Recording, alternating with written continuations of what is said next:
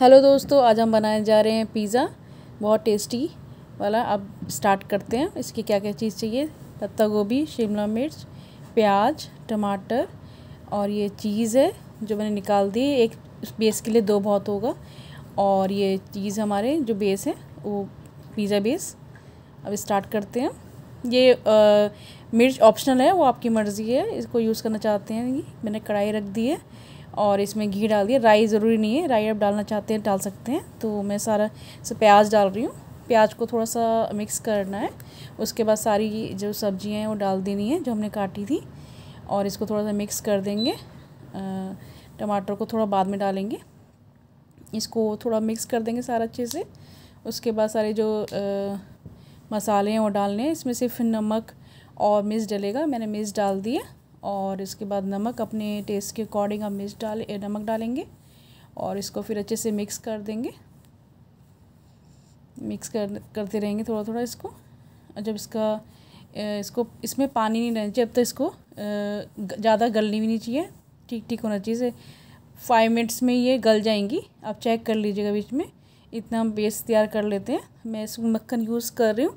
आप घी भी लगा सकते हो। मुझे मक्खन से ज़्यादा टेस्ट लगता है तो मैंने इसमें मक्खन लगाया और इसके लिए ये वाला तवा यूज़ करेंगे ज़्यादा अच्छा रहेगा। इसमें जलने के चांस कम होते हैं। तो हम जो फ्रंट साइड है वो सेकेंगे। इसे क्योंकि फ्रंट साइड हमें इसलिए सीखनी होती है उसके बाद हम इसमें सारी टॉपिंग जो होती है सब्ज़ी की सारी लगानी होती है। जैसे आप देख रहे हैं फ्रंट वाला सेकना होगा पहले और बैक वाला नीचे। जब आप टॉपिंग डाल देंगे उसके बाद सेकना होगा। तो बस ये थोड़ा सा पलट पलट के देखना है आपको। अच्छे सीख गया है देखिए बिल्कुल बढ़िया। अब इसमें हम एक बार चेक कर लेंगे सब्ज़ी होगी नहीं होगी हमारी। तो ये सब्ज़ी रेडी है स्टार्ट करते हैं इसमें।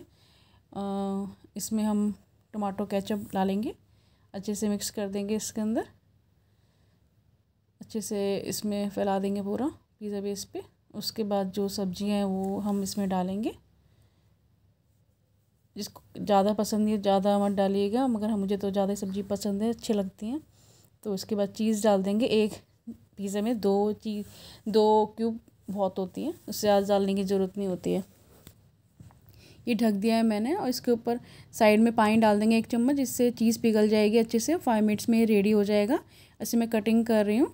उसके बाद चिली फ्लेक्स एंड ऑर्गेनो से इसको डेकोरेट कर देंगे। सुंदर लगेगा हमारा पिज़्ज़ा। प्लीज़ इस इसे ट्राई करिएगा गाइज़ बहुत अच्छा लगेगा और अगर आपको मेरी वीडियो पसंद आ रही है तो प्लीज़ लाइक करिएगा, शेयर करिएगा, कमेंट्स करिएगा और सब्सक्राइब करना बिल्कुल मत भूलिएगा। Bye bye.